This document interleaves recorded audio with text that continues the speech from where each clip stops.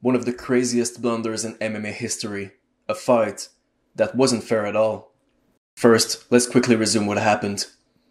Mike Rodriguez is dominating Ed Herman.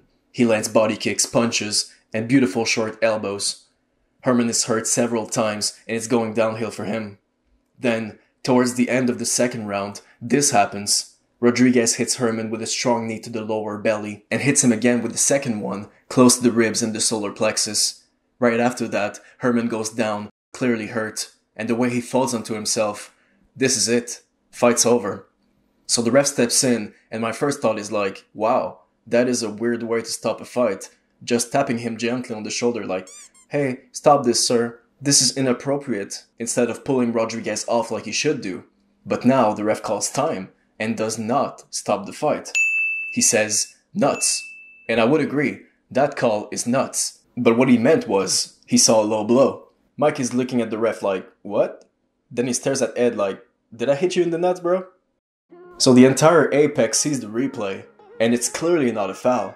And now what follows is just insane when you think about it. Ed Herman is allowed 5 minutes to recover from a nut shot. That didn't happen, and literally everyone knows it. Yeah, we'll get back to that weird concept, because the story ain't over. So, Ed Herman takes several minutes to recover from the damage he sustained throughout the whole fight. Veteran move right there, can't really blame him. And the fight continues. Slow Mike starts where he left off and hurts Herman with another knee, almost in the same spot as before, and Herman goes down again. This time is clearly not out and fighting back. So the round ends without a finish, and look at Rodriguez here.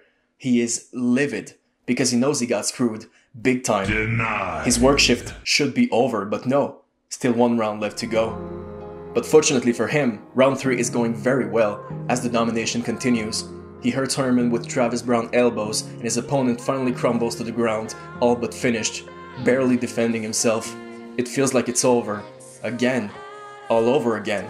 But nope, the fight continues. At least Slow Mike is one or two ground and pound strikes away from finishing the fight.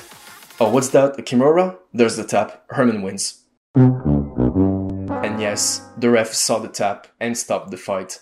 Ed Herman, tough mother effer, was getting dominated for the whole fight up until the Kimura attempt. This would have been one of the most incredible comeback victories, but it was stained. This wasn't a fair fight. That massive mistake from the ref highlighted a lot of problems in the MMA refing system, because when the ref gave Herman 5 minutes to recover, it made absolutely no sense to not use the instant replay. And it's in the rules, the ref couldn't look at the replay, because technically, it wasn't a fight ending sequence, although it was. Anyways, so many people are going to blame the referee and the referee only, but refs cannot see everything. They need to think about safety first, and that's hard to do when stuff happens so fast and you need to make a call. To be completely fair with Chris Tognoni, the ref, the first knee to the body was really close to the groin. 100% legal shot though, but the ref just didn't see it correctly. But what was so incredible and frustrating was that even with the referee's blunder, the fight could have been way more fair.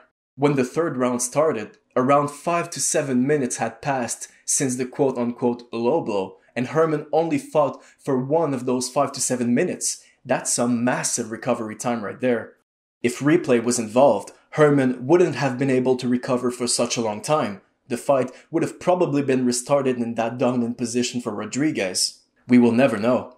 What we do know is this Herman was hurt, Rodriguez was not, and they both had 5 minutes of recovery time given to them incorrectly. Don't get me wrong, with the ref's bad call, Rodriguez would have been screwed either way, but at least with replay, he would have been less screwed. And when you think about it, if the ref sees the replay and assumes that Herman was out at that moment, he can simply correct his mistake and change the result to a TKO. Regardless, it just makes a lot of sense to use the replay because we want one thing and one thing only fair fights. I can't even imagine the people who bet on Mike, so can you even imagine being Mike right now? At least his arm is not broken, at least the UFC recognizes the situation. Here's what UFC President Dana White had to say one of the worst things I've ever seen. It was over. The fight was finished. That's like him being knocked out and fucking hell, let's give him time to wake up and he can fight again. That was a Mazzagatti moment right there. You know, Ed Herman's job is to get in there and win a fight, and, and he did what he had to do. Um, it's it's one of the most disgusting bad calls that I've ever seen in my life. He finished Ed Herman tonight and then lose the fight. We have to have replay. There's got to be replay. While, while Herman's on the ground, say, oh shit, I made a mistake. You know, you can't see everything. They're human. We're giving Mike his win money too. He won the fucking fight. Now, Herman said after the fight that he didn't really know if it was a low blow or not. He just knew that he was hurt and that he went down. Now, did he really not know that it wasn't a nut shot? Hard to say, because when you get hit hard on the cup, this is the region that really, really hurts, and that's where he got hit. So maybe he truly didn't know. Hey, That being said, I would have loved to hear the conversation between the ref and Ed.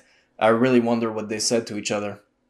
So, I think we dissected it all. It's pretty simple in the end. Every time a ref stops the action, he should be able to use instant replay or even a VAR video assistant referee to make the right call as soon as possible.